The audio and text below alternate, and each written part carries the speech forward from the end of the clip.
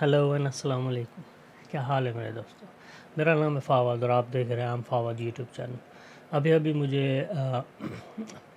One of the subscriber एक message आया है कि लेटेस्ट ट्रेलर रिलीज़ हुआ है बॉलीवुड की नई, आने वाली मूवी उसका नाम है मुल्क. ऋषि कपूर और तपस्या पन्नू उसके मेन लीड में है. काफ़ी ज़बरदस्त हिट आए हैं उसके विद इन फाइव और टेन आवर्स में. उसके views more than three millions हो गए तो लुक्स क्वाइट इंटरेस्टिंग तो इससे पहले कि हम उसके बारे में ज़्यादा डिस्कस करें, आइए ट्रेलर देखते हैं देखते हैं is is a worth to watch और नॉट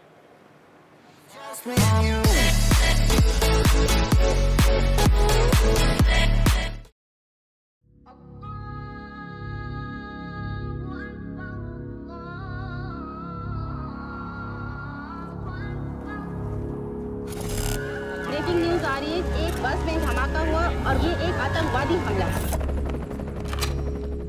घर पे पुलिस पहुँच गई है तुम्हारे। वो लोग रिक्वेस्ट कर रहे हैं तुमसे बात कराने को। क्या हो गया तुम्हें शाहिद? खैर आ जाओ बेटा। अभी नहीं आ सकेंगे हम हम लड़ाई पर निकले हैं अपने मज़हब के लिए। खुदा हाफिज।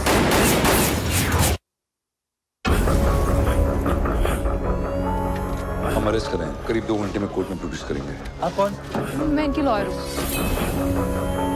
एक्यूज बिलाल और इस फैमिली ने एक बच्चे को शहादत के लिए तैयार किया। उसे आतंकवादियों से मिलवाया। इनका पूरा परिवार ही इस आतंकवादी साजिश का हिस्सा है। ऑब्जेक्शन माय लॉर्ड अभी तक कोई भी चार्जेस प्रूव नहीं हुए हैं। ये घर है मेरा। क्या कहूँगा मैं अपने आप से कि मैं देशद्रोही हूँ? हम केस यहीं लड़ेंगे। धर्म के नाम पर निर्दोष लोगों की हत्या करते हैं और बाद में कहते हैं कि हर मुसलमान ऐसा नहीं होता। तो फिर कौन कौन कैसा है? ये कौन बताएगा? देखिए आपके घर की दीवार पाकिस्तानी लिखा है वहाँ। पाकिस्तानी लिखेंगे ना? अगर कुछ घर आज भी पाकिस्तान के जीतने पर पटाखे बजाएँगे तो? इनके समाज में बच्चे बहुत ज़्यादा हैं। तो परिवार के किसी एकाध सदस्य को जिहाद के काम पे लगा दिया जाता है। नहीं नहीं। भाईजान को इससे निकाल ले।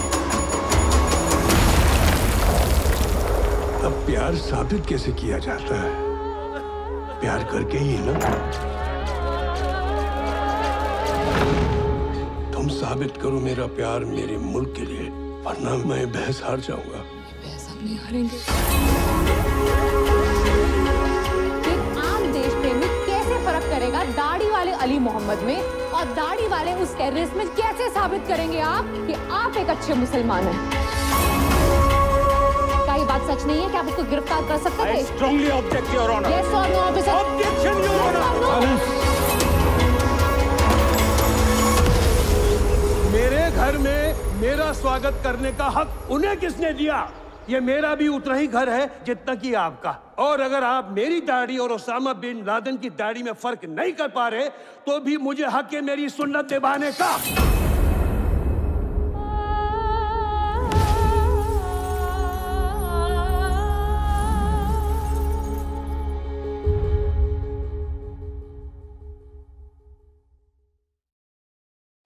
Wow very fast paced trailer है।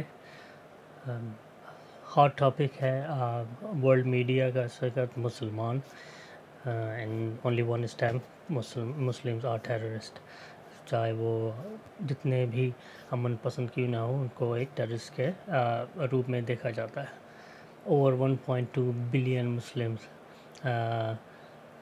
lives around the world और uh, उसमें से point zero zero zero zero zero one percent भी जो टेररिस्ट हैं, जो मुसलमानों के नाम पे इस्लाम के नाम पे ये सारा कुछ करते हैं। सारे मुसलमानों का नाम बदनाम किया हुआ इन लोगों ने। उन लोगों को तो हम वैसे मुसलमान नहीं मानते। लेकिन उनकी वजह से जो तकलीफ़ें सहते हैं दुनिया भर के मुसलमान उसके बारे में दिखाया गया है कि इंडिया में फैमिली का एक बंदा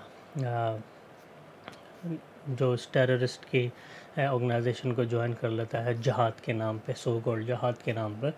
और और उसके बाद से उनकी फैमिली किस तरह सरवाइव करती है स्ट्रगल करती है टू प्रूव दम कि वो भी उतने ही ट्रू इंडियन हैं हिंदुस्तान के रहने वाले शहरी हैं, अपने मुल्क से उतनी मोहब्बत करते हैं, उनको प्रूव करना पड़ता है।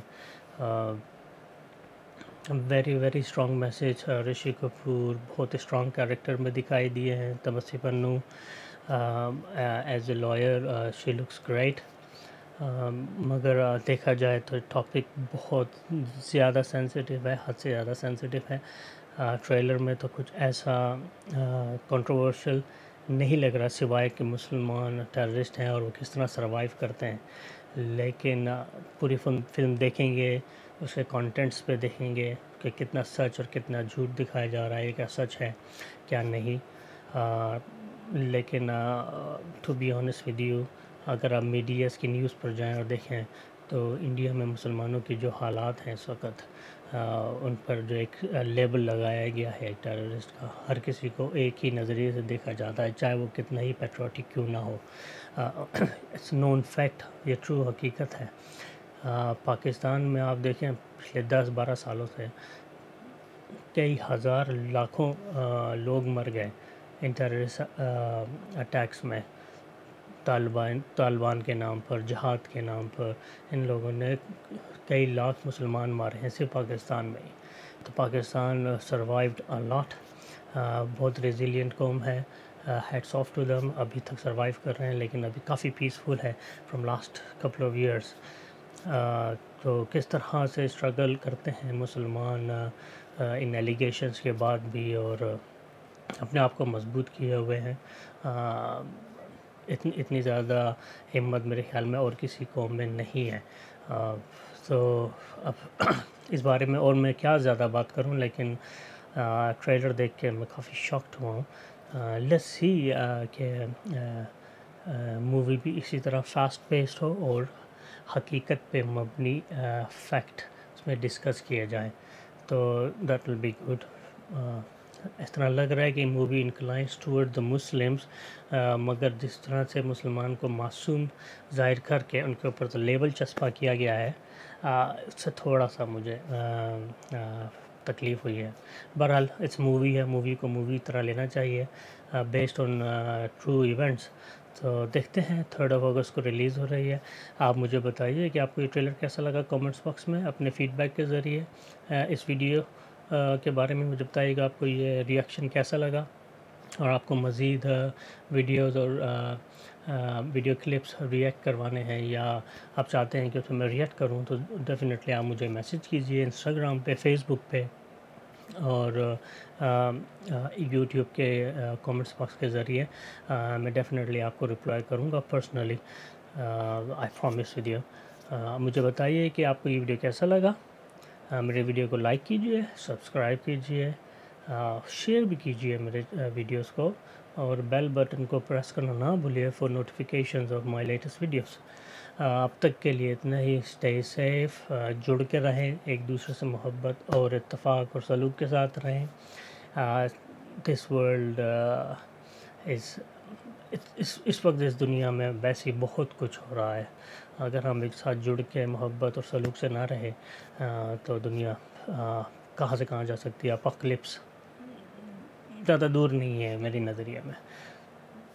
है ये थोड़ा Christian concert but I think this is going to happen soon तब तक अब अब तक के लिए इतना ही। uh, uh,